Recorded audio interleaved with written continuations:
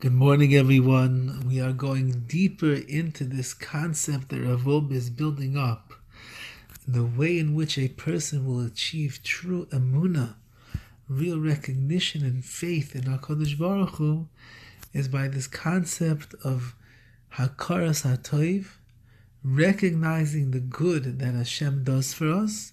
Really, as we said yesterday, recognizing that everything that we have in our life is ultimately coming from Hashem, and expressing our gratitude, which is going to bring us to a new level of the clarity in our emuna in Hashem. And he says a very profound idea today.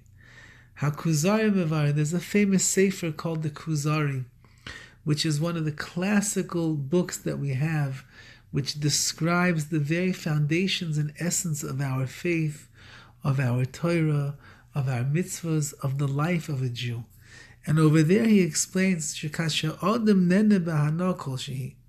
when a person derives benefit from even the smallest type of pleasure in this world, if a person will think before he indulges in the pleasure, that this hana, this pleasure which is given to me, is coming to fill the void that existed before it.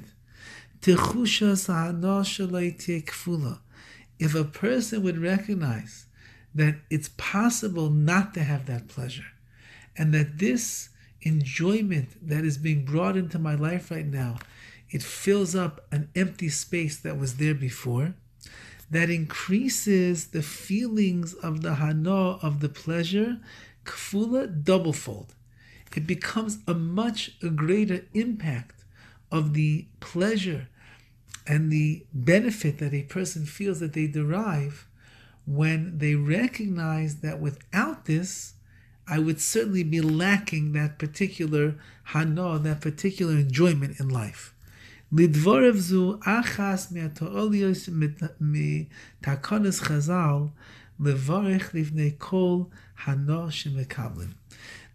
one of the reasons, explains Rav Wolbe, based on the words of the Kuzari, that our sages affixed for us to make a bracha before we receive any physical pleasure in this world.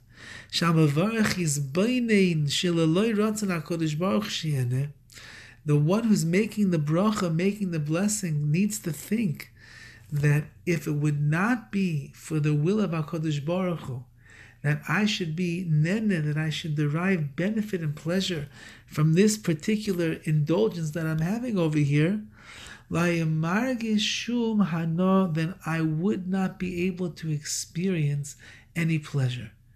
It's only because HaKadosh Baruch Hu decided that the apple should taste good that when I make the bracha, boire priya eitz, does the, the apple, I'm eating something that tastes good.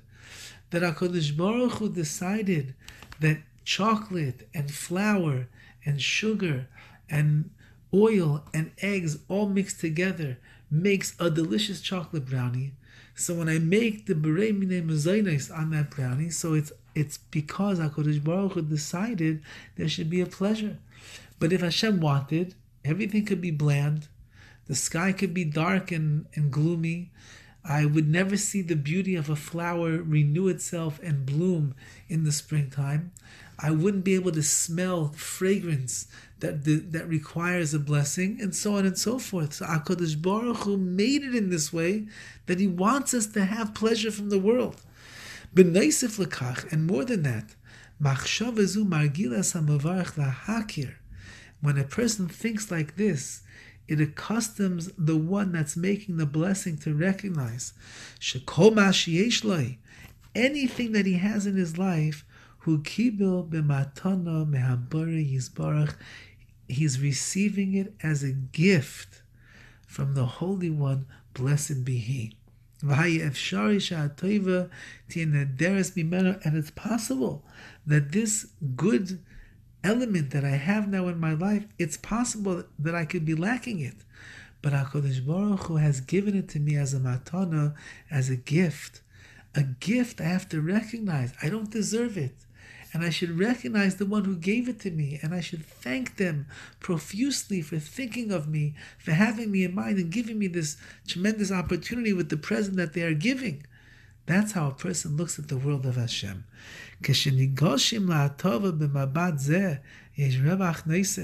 When a person approaches looking at the goodness which Hashem bestows upon him like this, something else is added.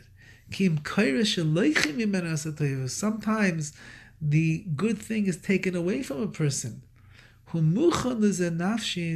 He's already prepared how to deal with this, and he can react in the proper way. Since that I understand that everything that I have in my life is really a matana, it's really a gift that HaKadosh Baruch is sending my way. So if one day I would wake up and I wouldn't have the benefit of the chocolate cake or the beautiful sunrise to look at or the or the inspired and invigorated health that is running my life so then instead of getting broken and down and angry and upset I would realize that at that moment Hashem's deciding for one reason or another not to give the matana, not to give the gift, and I'll look for other things in my life to be grateful for and thankful for to Hashem. So may we use our day wisely to see the numerous matanas, the numerous gifts that HaKadosh Baruch Hu showers upon us all of the time. In that way, we will be grateful, and through the gratefulness, will strengthen our recognition and our emunah, our belief in Hashem. Have a wonderful day.